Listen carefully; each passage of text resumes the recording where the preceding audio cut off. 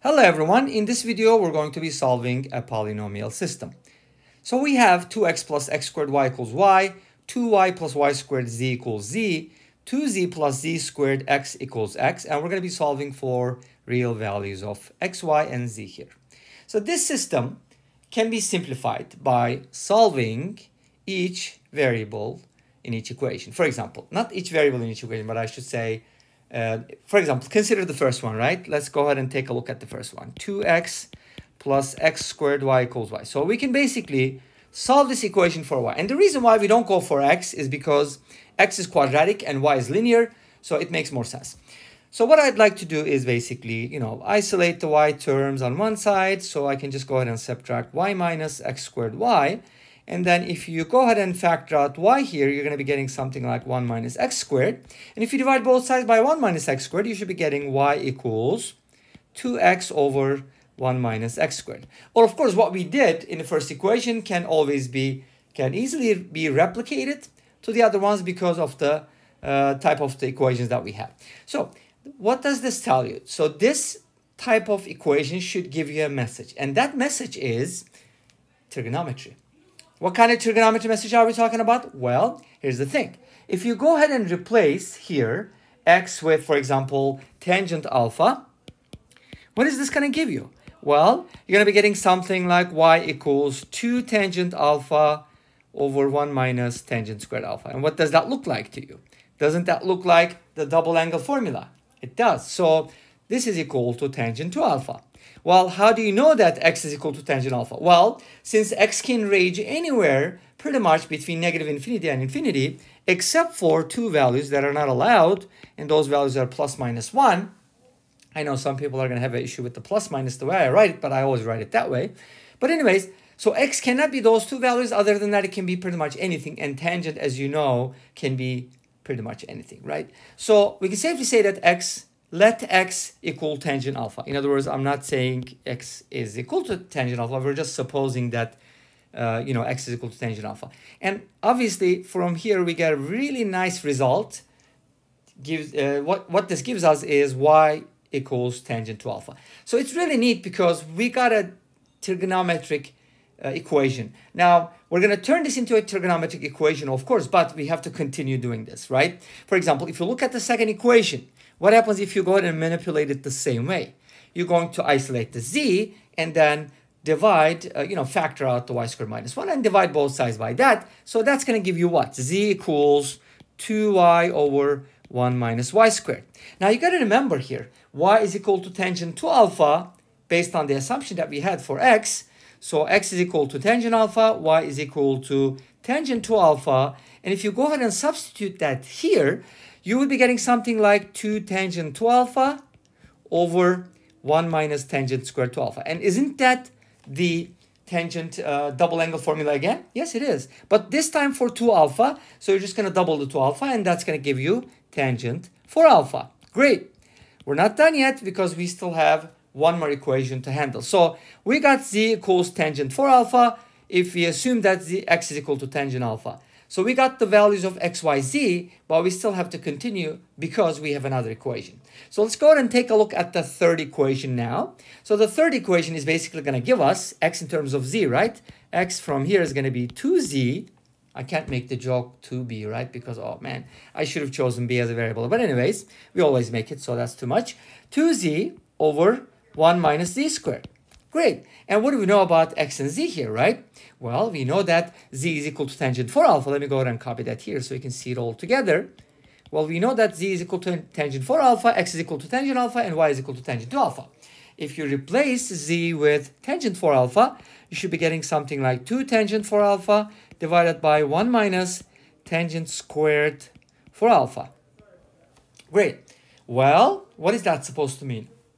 Oh no the double angle pops up again. Well, isn't that tangent 8 alpha? But what is that supposed to mean? Didn't we, didn't we already have a value for x? Well, we did, but it doesn't hurt to have a second one, right? Because what we can do is we can set those equal to each other. And this is the beauty of trigonometric substitutions. That's why trigonometry is awesome. If you disagree, please comment. Okay, cool. So now x is equal to tangent alpha and x is equal to tangent 8 alpha which implies that tangent 8 alpha is equal to tangent alpha. Okay, great. So this is a trigonometric equation, no longer polynomial. Even though polynomial equations are easy, this equation will not be necessarily that easy, but as is, it's pretty simple, right? I mean, how do you solve this equation? Well, there are many ways to solve it. You can just set the 8 alpha and alpha equal to each other, add the k times pi, so on and so forth. But let's do it in a more artistic way, and let's go ahead and write the following. Well, what is the value of tangent? Oh, okay, maybe I should choose that. I don't know. What color should I choose? Okay, let's go with this one. You can't go wrong with white, right? So how about, oopsies. So we said that tangent 8 alpha is equal to tangent alpha, right? So what am I going to do now? Okay, so I'm just going to go ahead and write down the formula for tangent 7 alpha. How am I going to write it? Well, I will use the difference formula. How about that? Well, we do have a sum formula, we do have a difference formula, we do have a double angle formula. We have all these identities, right? So why not use them? So now, if you think about this, tangent x minus y is equal to tangent x minus tangent y divided by 1 plus tangent x times tangent y. But what do you know about tangent 8 alpha and tangent alpha? They are equal. Great. If two things are equal, then their difference is what? 0. From here, we get tangent 7 alpha is equal to 0. Beautiful. Now, what is that supposed to mean? Well, if you think about the unit circle, you know that tangent is 0 when sine is 0 because tangent is equal to sine over cosine, and sine is 0 on the x-axis because that's for cosine. So here and here. So basically multiples of pi, right? Okay, great. So from here we can safely say that, well, 7 alpha needs to equal k times pi, where k is an integer.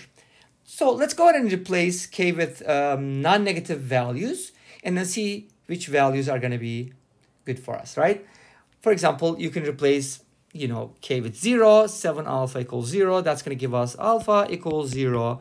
If you replace k with 1, let's go ahead and try that out. It's going to give you 7 alpha equals pi. From here, you're going to get pi over 7. So you're basically going to be working off of multiples of pi over 7, which I can list as 2 pi over 7, 3 pi over 7, 4 pi over 7, 5 pi over 7, and 6 pi over 7. What happens when you get to pi?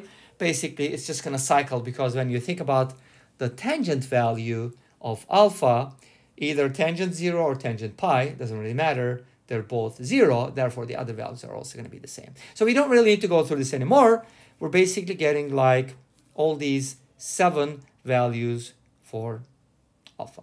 But we need to find the x, y, z values, right? Exactly. So how we can find them is basically, we're going to remember uh, how we use substitution here. We said that, okay, x is equal to tangent alpha, y is equal to tangent 2 alpha, and z is equal to tangent 4 alpha. So they're just going to double and double and double. So x is equal to tangent alpha, y is equal to tangent 2 alpha, and z is equal to tangent 4 alpha.